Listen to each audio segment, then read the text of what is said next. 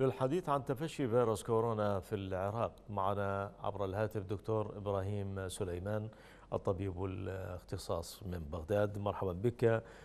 دكتور إبراهيم بداية هناك تصريح صادم من منظمة الصحة العالمية بأن العراقيين سيواجهون الخطر الكبير في بسبب كورونا في غضون الأسبوعين المقبلين بالنظر إلى الأعداد الكبيرة من المصابين. هل فقدت السيطرة على الفيروس في العراق الآن؟ مساء الخير عليك وعلى جميع مشاهدي قناة الرافدين. أعز الشعب العراقي بوفاة الأسطورة أحمد راضي رحمه الله وأدخله فسيح جنات آمين.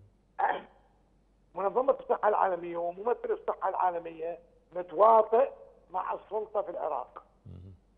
من أول ما بدأت جائحة الكورونا تصريحاته متناقضة مثل تصريحات وزير الصحة العراقي شوف بس سر شوية خلي قناة الرافدين تخ نعم. أحمد راضي مات بالحمام.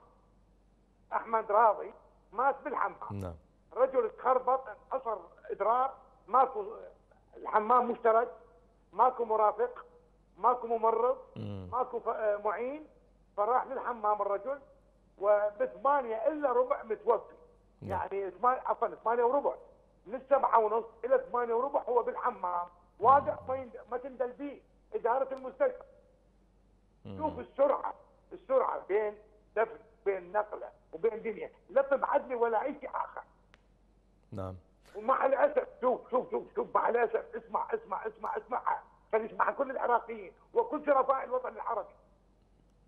وزير صحة يروح يحضر عزاء حفل عزاء لوالد مسؤول اللجنة الصحية في مجلس النواب. نعم. ياكل لحم والوفيات ممنوعة ودي.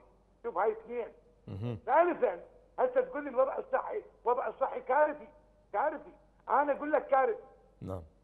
يعني حتى نقيب ال... على قنينه دكتور إبراهيم عفوا. نقيب الممرضين قال إن هناك 250 إصابة بين الفرق الطبية. هذا المعلن طبعا. من المسؤول عن غياب نعم مستلزمات نعم. الحماية؟ يعني هل باتت المستشفيات نفسها ناقله الوباء؟ نعم سيد العزيز الله يخليك. أنت من تفتح المستشفى لاستقبال حالات الكورونا. فاذا هو شنو؟ الفيروس ينتقل عن طريق التنفس عن طريق الرضاع. فهذا كل مريض يطب للمستشفى احتمالية إصابته. نعم. فهذا يعني مستشفيات متخصصة بالأمراض المعدية ما موجودة. يعني مستشفى وزارة الصحة إلى الآن ما اتخذت كل إجراء. نعم.